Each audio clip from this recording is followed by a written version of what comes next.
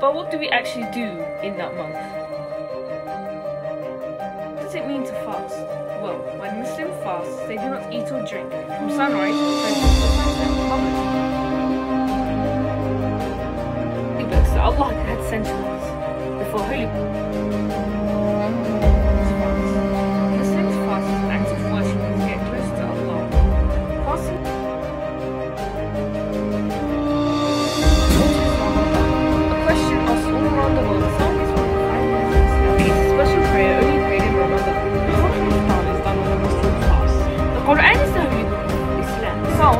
fasting.